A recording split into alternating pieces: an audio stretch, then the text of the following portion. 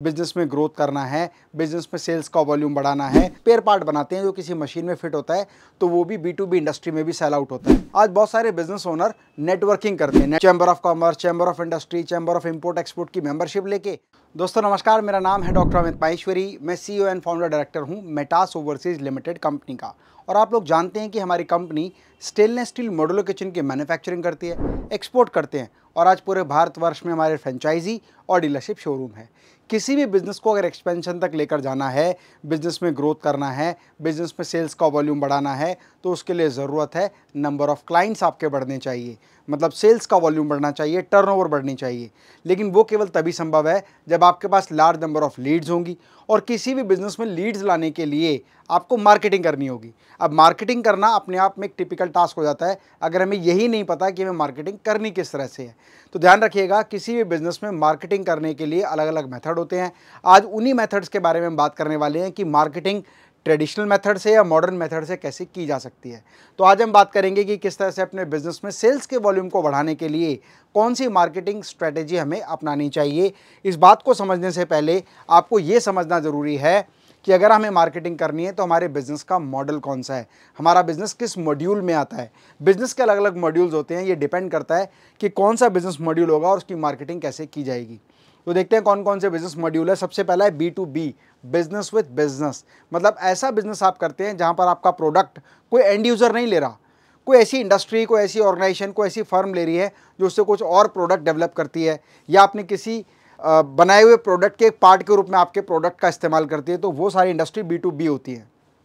जैसे अगर आप फैब्रिक मैन्युफैक्चरिंग करते हैं तो वो फैब्रिक आपसे कौन खरीदता है? रेडीमेड गारमेंट मैन्युफैक्चरिंग कंपनी तो जो फैब्रिक इस केस में हो गया, वो हो गया बी टू बी इंडस्ट्री का पार्ट ऐसी मान लीजिए आप कोई स्पेयर पार्ट बनाते हैं जो किसी मशीन में फिट होता है तो वो भी बी टू बी इंडस्ट्री में भी सेल आउट होता है। फाइन दूसरा हो गया B to C business with client कई सारे बिज़नेस ऐसे होते हैं जहाँ पर आपकी डील डायरेक्ट कस्टमर से होती है डायरेक्ट क्लाइंट से होती है। उसको बोलते हैं बी टू सी आपका जो एंड यूज़र है, वही उसका मतलब जिसको आपने सेल आउट किया है प्रोडक्ट वही उसका इस्तेमाल करेगा।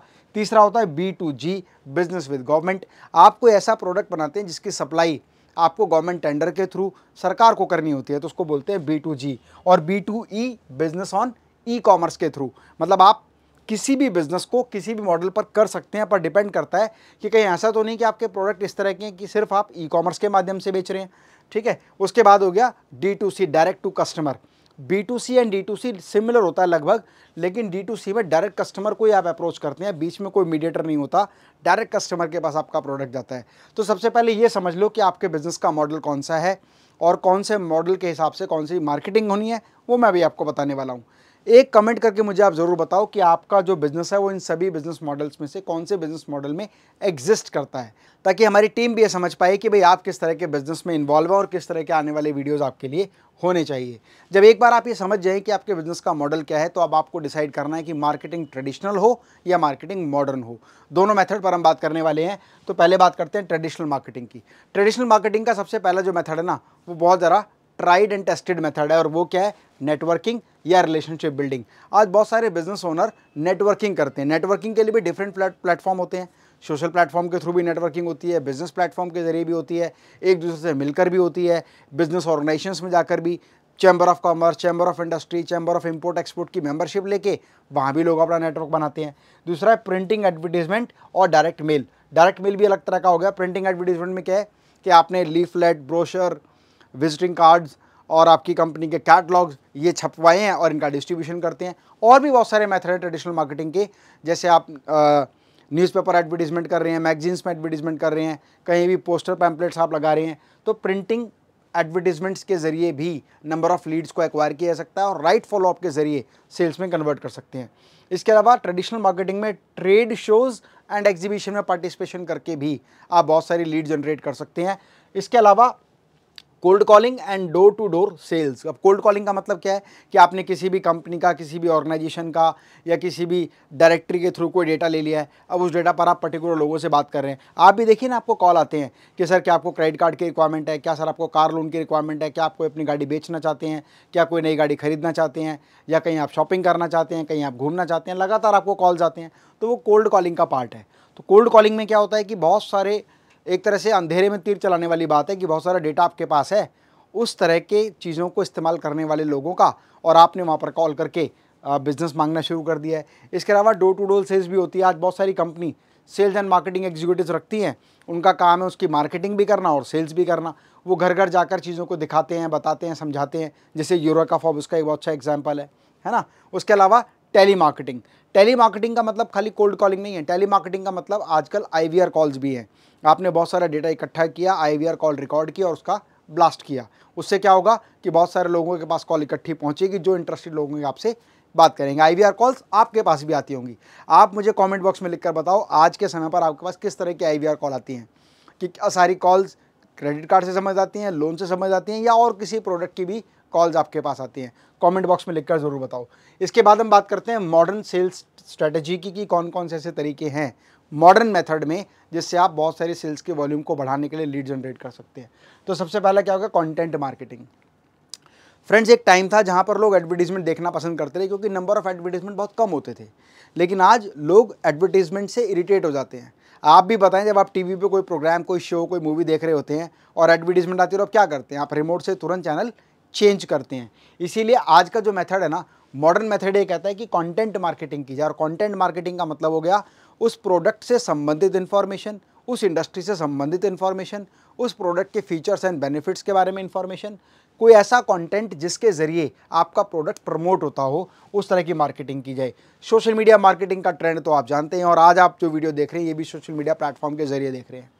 तो सोशल मीडिया मार्केटिंग में क्या हो गया? फेसबुक है लिंकड है इंस्टाग्राम है और यूट्यूब है और गूगल एडवर्ड्स है और बहुत सारे ऐसे तरीके हैं जिसके ज़रिए आप सोशल मीडिया के ज़रिए डायरेक्ट खुद भी प्रमोट कर सकते हैं पेड कैंपेन भी चला सकते हैं और इन्फ्लुएंसर्स को हायर करके उनके थ्रू मार्केटिंग करवा सकते हैं।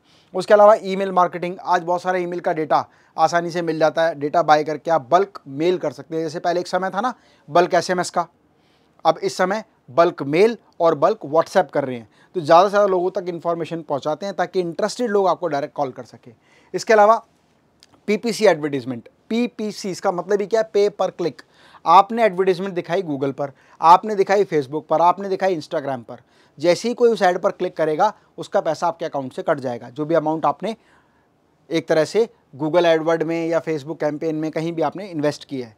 तो पे पर क्लिक भी एक अच्छा ऑप्शन है, जहाँ पर आप बहुत अच्छी सेल्स का वॉल्यूम जनरेट कर सकते हैं, लीड जनरेट कर सकते हैं, कन्वर्ट उनको कर सकते हैं। इसके अलावा ई कॉमर्स और ऑनलाइन सेल के ज़रिए भी।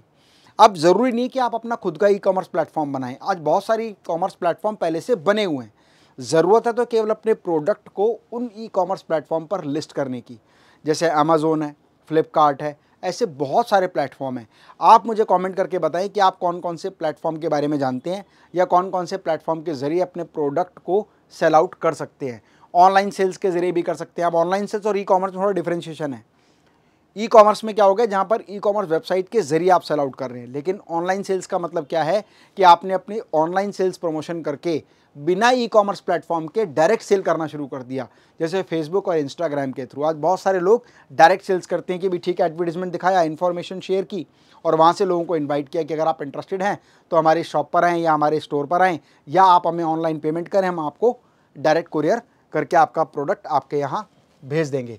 तो ये वो तरीके हैं जिसके ज़रिए आप आसानी से अपने बिज़नेस को ट्रेडिशनल मेथड से या मॉडर्न मेथड से प्रमोट कर सकते हैं। फ्रेंड्स बिज़नेस से संबंधित कोई भी इन्फॉर्मेटिव वीडियो मिस ना हो, उसके लिए इस चैनल को अभी सब्सक्राइब कर लें, क्योंकि यहाँ पर हम लेकर आते हैं लेटेस्ट बिज़नेस की इन्फॉर्मेशन और वो स्ट्रेटजीज़ जिससे आप अपने बिज़नेस को नेक्स्ट लेवल ले जा सकते हैं। स्वस्थ रहें, मस्त रहें। मैं डॉक्टर अमित माहेश्वरी, आपके सुनहरे भविष्य की कामना करता हूँ। जय हिंद, जय भारत।